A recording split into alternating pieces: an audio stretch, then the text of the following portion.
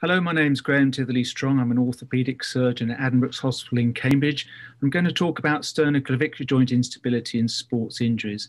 So I'm quickly just going to go over what stabilizes the sternoclavicular joint. Uh, it, has got very little congruency, so the bony congruency is minimal. Uh, intrinsically, there's the anterior and posterior sternoclavicular joint ligaments, and the discs does give some stability, and extrinsically, they're the, it's mainly the costoclavicular ligaments. The dynamic stabilizers are, are, important, and this is something that we hadn't appreciated until relatively recently. So, the main dynamic stabilizers of the sternoclavicular joint are the sternal part of pec major, sternocleidomastoid itself, and to a lesser extent, subclavius. So when we're talking about sternoclavicular joint instability, we really people previously talked about atraumatic and traumatic.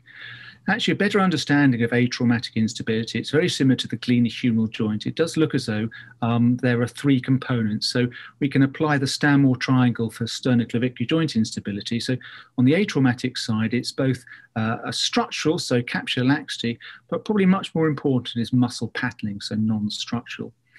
So most of the patients that you see with uh, atraumatic instability or symptomatic or traumatic instability tend to be younger patients, so from the early teens upwards. Most of them have got a mild background type 2, so they've got an element of laxity, which we can see in the uh, non affected joint. And this has office, normally been compensated for previously.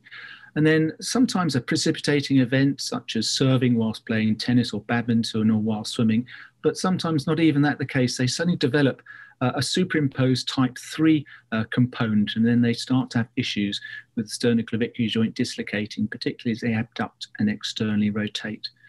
So the treatment rationale really is to try to address the new or the acquired type 3 patterning problem. And often they can then convert back to just having the asymptomatic compensated type 2 instability. Very occasionally, having got rid of the type 3 patterning, they're unable to compensate for their type 2 instability and they may, may need to get that treated separately, but always do that as a secondary event. So this is a chap with type 3 patterning. As you can see, his arm's coming back and an arrow is going to come in. We can see just as he's bringing his arm forward, sternocleidomastoid desperately trying to, to pull the joint in. But as he comes forward, you can see the sternal part of uh, pec major is actually pulling the medial end of his clavicle out. And it's only when he relaxes that the joint comes in. So rather than the joint dislocating, it's actually being pulled out by sternocleidomastoid uh, firing abnormally. So the rationale for treatment is mainly physiotherapy. In the vast majority of patients, we can get better with physiotherapy. Very occasionally, I've used Botox. The rationale really is distract, distraction or depowering uh, pec major. The way we tend to do this is we tend to get the patient to bring their arm back as far as they can. And rather bringing their arm their arm forward, we get them to rotate into the neutral position whilst they're being resisted at the back. And so they come from this position where they're fully in external rotation and then they rotate forward, so effectively bringing their arm forward. And this is exactly the same chap. And this is on the same day, so he hasn't really had any uh, any real work yet. And as you can see, he's pulling all the way back. The joint remains in, and then as he brings himself round out of external rotation, you can see that sternocleidomastoid hasn't pulled the joint out. And this is really the rationale for, for, for treatment. And in the vast majority of these chaps, type 3 patterning uh, can be eradicated and they're left with their type 2 laxity, which they had previously. Very occasionally, despite getting rid of the type 3, the type 2 laxity uh, is refractory. So this girl had real problems, and you can see that despite her, we've got rid of her type 3, the joint's still sitting out there. She's never injured herself. She'd actually stretched out on her MRI scans. She, her capsule was still there, but it was stretched out and very lax. So in this rare occurrence, you actually need to fix these up. So we did a reconstruction for her, and uh, this is her about six months later, and she's uh, got a nice, stable sternoclavicular joint. So the other group of patients, are the traumatic ones, and I think the incidence of traumatic uh, SCJ instability is greatly underestimated. And that's partly because most acute dislocations spontaneously re relocate. Anterior and posterior subluxations are sometimes underappreciated. And there are a number of other injuries, which I'm not going to talk about. They're disc tears, sternal fractures, and fractures to the medial end of the clavicle. So one of the reasons that I think these uh, uh, injuries are, are, underestimated is that we as physicians have a low index of suspicion, but also the patients have a low index of suspicion. The method of dislocating your uh, SC joint is due to an indirect mechanism of injury, and I'll talk about that in a second, where you tend to be hit on the outer aspect of your shoulder. Patients often have global shoulder pain, and actually, they think that the medial pain that they're getting is being referred from the glenohumeral joint medially rather than the other way around. And that's both the patients and ourselves. And I think we do inappropriate imaging most of the time. Sternoclavicular joint injuries are soft tissue injuries, so we need to do soft tissue, in, soft tissue imaging. Most of the imaging we tend to do is CT scans. So to get an anterior dislocation, it's really an oblique posterior force onto the anterior edge of the shoulder, such as this chap lying in a ruck, and you can see gets hit, hit on the uh, outer aspect of his shoulder, and it just levers the uh, medial end of the clavicle anteriorly. And for posterior dislocation, it's really the reverse. Uh, you're hit with an anterior oblique force on the back of the shoulder, and that levers the, the medial end of the clavicle out posteriorly. You can get a posterior dislocation by direct force. It's relatively unusual. It tends to be Salter-Harris 2 fracture dislocations occur this way, and I'm not really going to talk about, that, about those today. With regards to imaging, X-rays are very difficult to interpret. There's something called a serendipity view, and it's only really called a serendipity view because you may be quite serendipitous and actually see something. Most of the time, it's very difficult to interpret, and that's because the cervical spine lies behind the sternoclavicular joint. So the go-to investigation that most people use is a CT scan, and they are excellent for dislocated sternoclavicular joints. So this is a posterior dislocation of the uh, of the left sternoclavicular joint, and this is it reformatted. For myself, I'm very interested, particularly in the acute injuries, what's happened to the vasculature. That's the, the biggest concern. So we always tend to go for an acute dislocation. We always do a CT arteriogram. And when you reformat that, you can see exactly what's happening with regards to the vessels. And it's actually the brachiocephalic vein, which is the biggest concern rather than the arteries. However, most of the patients that we uh, see, uh, even though they've had a dislocation, it's spontaneously relocated. So this is a CT scan of a patient who had a posterior dislocation that was relocated. And in fact, there's nothing that you can really see. It's a little bit like taking a, a, CT scan of a dislocated shoulder that's been relocated. You're not really going to see very much. So really what we want to do is to look at the soft tissue. So an MRI scan is probably the most useful investigation. So an MRI scan of the neck or the uh, upper thoracic region actually gives relatively poor resolution for the sternoclavicular joint. And it's not actually aligned in the direction of the joint, which is at 30 degrees to the horizontal plane. And for chronic injuries, it's very difficult to interpret uh, some of the soft tissue injuries. You haven't got uh, an effusion to create an arthrogram uh, environment.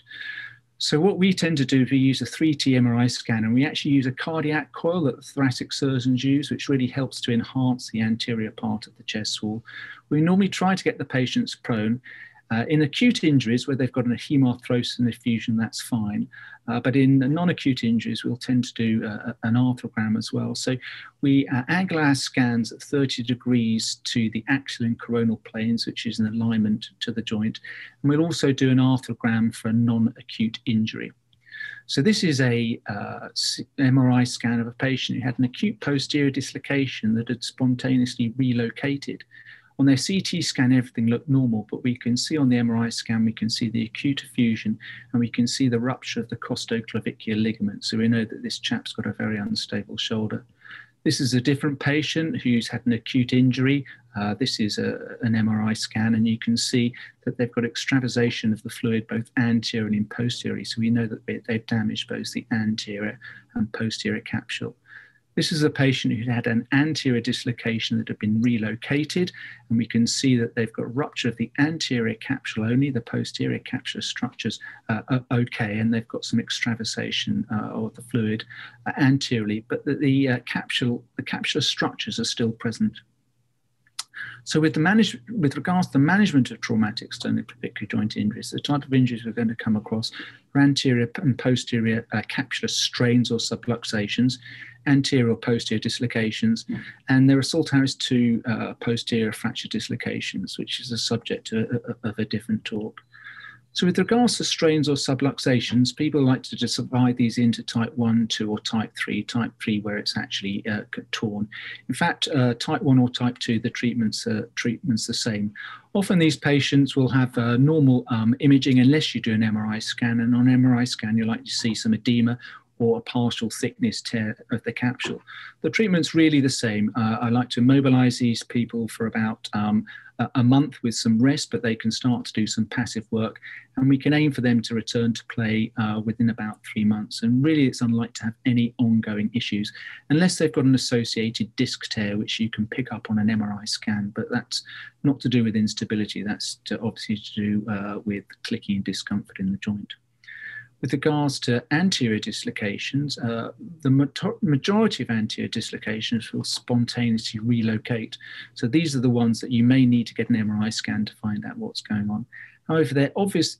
So, however, if they're obviously dislocated, it's an easy diagnosis to make, and people will prefer to try to do a closed reduction. And we've all seen these closed reductions in, in the textbooks. You want to put longitudinal traction uh, on the affected arm, and then pushing downwards, you can then relocate the joint. However, um, having had a, a, first time true anterior dislocation of the sternoclavicular joint, there's a 50% recurrence rate and a 75% uh, incidence of recurrent uh, instability, so subluxations without true dislocations. If you do have recurrent instability, um, when you do try to do the surgery, often all of the capsular tissue has disappeared. So the only surgery you, can do is a reconstruction using, I prefer to use a hamstring tendon, but using some form of, of, of tendon graft. However, um, as I showed in that uh, picture earlier on, the posterior capsule is stronger than the anterior capsule, so it's possible to dislocate your shoulder anteriorly without tearing the posterior capsule and just, just tearing the anterior capsule. And there are remnants of the capsular tissue present after an acute injury. So perhaps undertaking an augmented repair at the time of injury or after the first dislocation uh, may uh, be something to consider. This is something that we've been um, doing in Cambridge for the past seven or eight years. The first few patients I did were patients who come in and the joint was still out, so I took them to the theatre to reduce them. But then, um, with increasing um, confidence and success of the surgery, it's something that I will offer to patients who had a first time dislocation that has relocated. It's basically a si- simple capsule application uh, where you tighten up the capsule. And the key thing is protecting it. And I protect it with something called an internal brace, which is really two anchors either side of the joint uh, with a, um, a thick uh, fiber tape suture that sits in front of it to protect protect the repair. So we published a series about three years ago of uh, six patients that we did this uh, procedure on. Uh, they'd all um, injured them. Well, four of them injured themselves playing sport. One had been in a in a fight. Uh, we undertook this surgery with an average follow-up of 28 months. There were no redislocations all of the patients considered their joints stable. And more importantly, all of them have returned to sport, and four out of the six of them uh, undertook contact sports, and there have been no complications. So that's certainly something that we consider someone who's had a, a true anterior dislocation. So the management of an anterior dislocation, um, if it's uh, acute uh, and it's still dislocated, uh, a closed reduction certainly is something that can be done, but to consider an open reduction and a capsular repair. If it had a spontaneous reduction, certainly the imaging modality of choice I'd recommend would be to do an MRI scan. And if it's acute, you don't need to do an arthrogram. However, there's a quite a high risk of recurrence over 50%.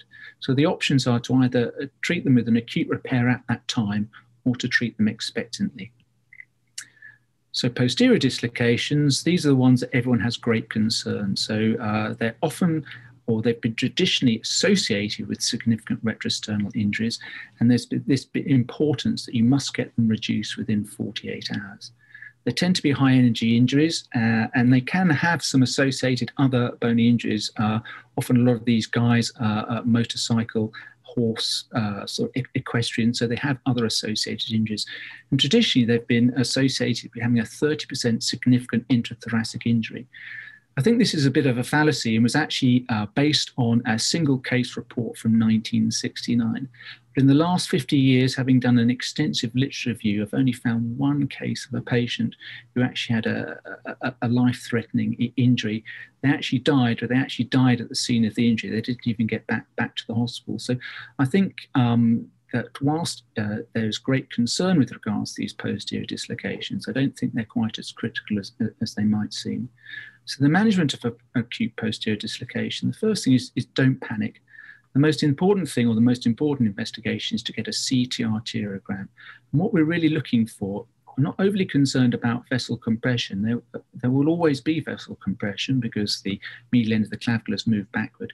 It's to make sure that there's no intimal injury. And we've been um, uh, treating these patients now for the past 15 years with CT arteriograms. And um, so, touchwood so far, never found any patients that have actually had an intimal, intimal injury. So treatment options, you can go for a closed reduction where once again you have that inline uh, pull and uh, inline traction on the arm and then you try to pull the clavicle forward um, using a towel clip. Um, that's a pretty difficult thing to do and often isn't successful. And even if you uh, do try to do a, a, closed reduction, the outcome isn't great. And there are a couple of papers in the literature. So the paper from Groh in 2011, uh, where they had a 62% of uh, unsuccessful. So really two thirds of the patients they tried to reduce, uh, they were unable to reduce or they spontaneously relocated. relocated. And is Laurent Lafosse, this is a different Lafosse. They did a multi-center study where they found that nearly half of the patients, it was unsuccessful to do a, a closed reduction. So certainly my recommendation is to undertake an, uh, an open uh, reduction. Uh, lucky I work, um, Papworth is now on site at Addenbrooke, so I could do this with the thoracic surgeons. Um, we do these patients supine with the sandbag. I tend to always use hamstring, so gracilis tendon uh, uh autograft with horizontal drill holes, and I try to retain the capsule. So this is a, a, a, a series of 19 patients that is uh, about to be uh, published, um, who all had acute posterior dislocations. As you can see, their mean referral time, so it took four days to get to see us, and the mean time to surgery was just over a week. So it wasn't something that, whilst these patients need to be uh, treated quickly, it's not 48 hours. There's probably a 14 day window in which to stabilize these uh, patients without any great issues. They all had a CT arteriogram and they all had vessel compression, but none of them had an inter- intimal injury. We fixed them all in the same way using the horizontal figure of eight hamstring tendon reconstruction, uh, using most of the time an autograft. There were 17 patients available for follow up, and the mean follow up was 83 months. None of the patients had redislocated or had instability, and all of their uh, outcome scores were great. All the patients that wanted to return to contact sports did so at six months with really no restrictions. There's only one patient that didn't, and that's because they decided to retire from rugby and there were no complications. So for the management of a posterior dislocation, uh, if it's uh, dislocated, uh, an open reduction and reconstruction certainly would be the go-to procedure that I'd recommend. Uh, it's not super urgent, so there's plenty of time. If you're not happy to do that self, uh, to refer it to a center that will, do that. I think trying to do a closed reduction um, is difficult. It's not always successful. Even if it goes in, it will spontaneously redislocate, and it's very difficult to image at the time. You have to get a repeat CT scan. So if you've got a patient who's had a posterior dislocation that's uh, spontaneously reduced, once again, an MRI scan is a go-to investigation. There is a risk of recurrence. However, um, you may want to undergo an acute stabilization or to treat these patients expectantly. If you are going to do a, uh, if you've got a recurrent dislocator, it's really um, the same operation as you do for a, a, an acute patient, apart from the fact you don't have any capsular tissue to, re to, to, retain. So in conclusion, um, joint instability, atraumatic instability is really made up of type 2 and type 3 components. Most patients will have had a background of asymptomatic type 2 laxity and they've now got a superimposed type 3 patterning component that has actually started to uh, cause their joint to dislocate anteriorly. The treatment is really aimed at treating the type 3 patterning, and in most of the patients, they will revert back to the asymptomatic type 2 instability, and that's all that you need to do. However, occasionally patients will continue to have instability, and that's due to is due to true capsular laxity, and these are the patients that may require surgery.